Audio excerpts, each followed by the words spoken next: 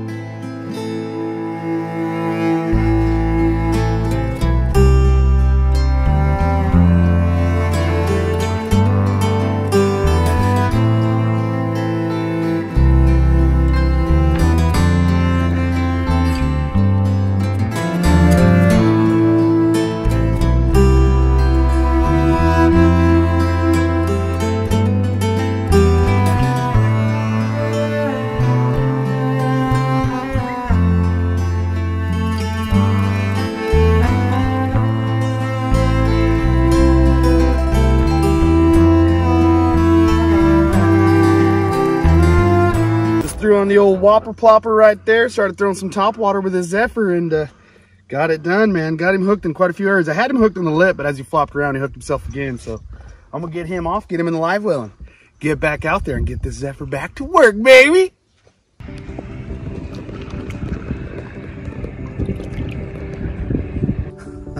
What's going on, ladies and gentlemen? AJ Gore here, and I've got the Zephyr spinning reel, and there's quite a few different series of Zephyrs, but we're actually looking at the black edition today. And guys, this is a pretty sweet spin reel. Let's dive into this thing and check it out.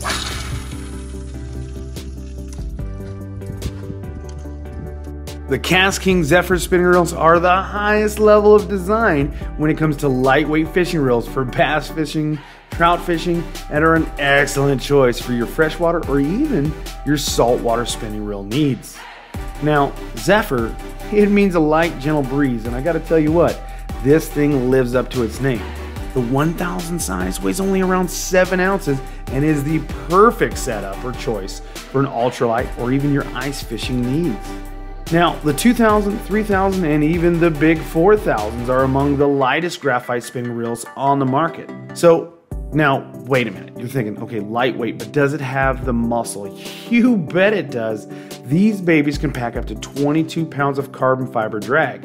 And along with corrosion free graphite frame as well as rotor, combine that with an oversized stainless steel main shaft, brass pinion gear, and double shielded stainless steel ball bearings, this is going to be key to help you get that trophy fish to the bank or in your boat.